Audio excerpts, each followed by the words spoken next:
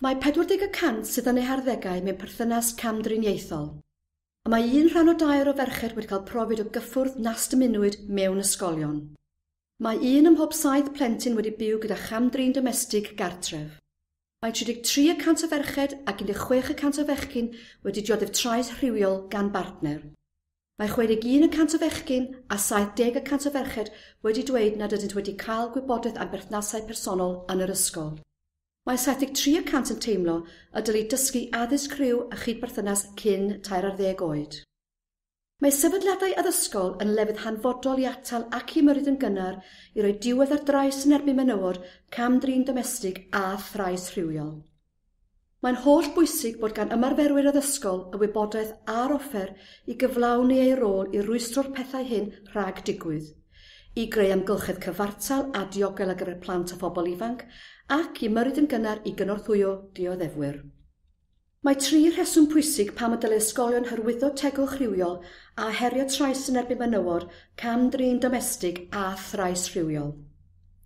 Mae pawb yn y gwasanaeth addysgol gyda'r un amcan i greu amgylchedd dysgu diogel, trwy adnabod ac ymateb i unrhyw efidion am les plant Mae achos busnes cryf dros y math yma o waith ac, yn olaf a phwysicaf oll, mae'n hanfodol bwysig yn foesol i hyrwyddo tegwch rhywiol ac i atal y mathau yma drais a chamdriniaeth.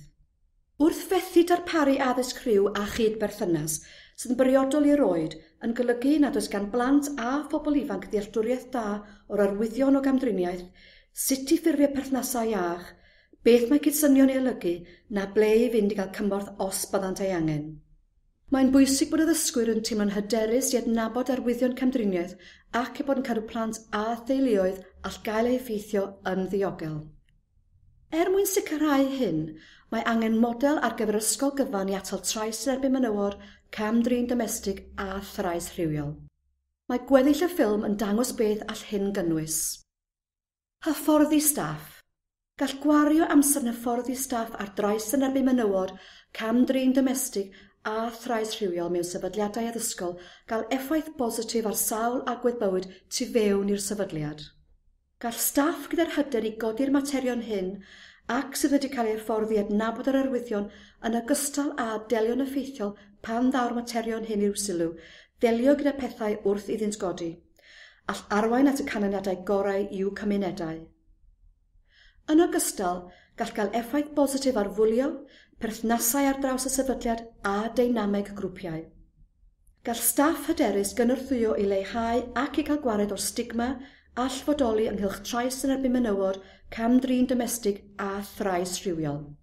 Ystyriwch bod hyfforddiant priodol ar gael i staff yn unol â threfniadau lleol ar gyfer darparu hyfforddiant diogelwch ac amddiffyn plant a'r fframwaith hyfforddi cenedlaethol ar drais yn ebyn menywod, cam drin domestig a thrais rhywiol cael mynediad i adnoddau priodol, cael mynediad i asyntaethau lleol a chenedlaethol i gefnogi'r gwaith, a rôl y rhai a ddynodwyd i arwain ar ddiogelu i atgyfnerthu'r ymateb i drais yn erbyn menywod, camdrin domestig a thrais rhywiol.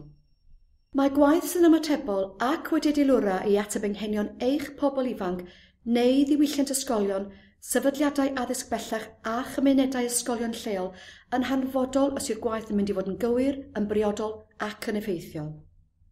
Gweithio gyda rhieni a gofalwyr. Bydd llawer o rieni a gofalwyr eisiau siarad efo'u plant am eu perthnasau a'i diogelu rhag camdriniaeth a thrais. Mewn partneriaeth gyda gwasanaethau arbenigol neu ardal, ystyriwch ddarparu gweithdai, taflenni a sesiynau gwybodaeth i gefnogi rhieni a gofalwyr yn eu rôl pwysig.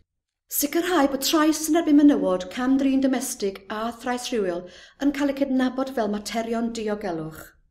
Mae rhaid deall bod trais yn erbyn menywod, camdrin domestig a thrais rhywiol yn achos amddiffyn plant a dylai delio gyda unrhyw efidion yn unol ar trefniadau yn y polisi amddiffyn plant. Pobl ifanc i gymryd rhan. Mae'n holl bwysig bod plant a phobl ifanc yn cymryd rhan i greu ymagwedd ar gyfer ysgol gyfan sydd â drais yn ebu menywod, camdrin domestig a thrais rhywiol. Mae cymryd rhan yn golygu bod gan bobl ran ystyrlon yn y penderfyniadau sy'n effeithio ar eu bywydau. Mae'n ymwneud â hwyluso cyfleon i bobl greu a rhoi y syniadau ar waith wrth fynd i'r afael a'r materion hyn. Gall gymryd rhan mewn ffordd ystyrlon bod o fantais enfawr i ysgolion a phobl ifanc. Datblygu rhaglen gynhwysfawr i rwystro'r materion hyn rhag digwydd. Er mwyn datblygu rhaglen gynhwysfawr i roi diwedd ar drais yn erbyn menywod, cam drin domestig a thrais rhywiol, mae'n bwysig symud i hwnt i'r stafell dosbarth trwy godi proffil y gwaith o rwystro, ymgyrchoedd a chynulliadau trwy ymgorffori mewn polisiau a gweithdrefnau. Hefyd, mae hyn yn fwy tebygol o sicrhau bod plant a phobl ifanc yn cael negesuon clir a chyson ynglyn â herio achosion y drais yn y bumynywod, camdrin domestig a thrais rhywiol. Mae llawer o ysgolion a sefydliadau addysg bellach eisoes yn gwneud gwaith diddorol ac arloesol ar y themau allweddol hyn. Newid normau, rolau a disgwyliadau'r ddau rhyw, adeiladu perthnasau gyda pharch, adnabod a deall trais yn erbyn menywod, camdrin domestig a thrais rhywiol, Sut i gael cymorth ac i gadw'n ddiogel?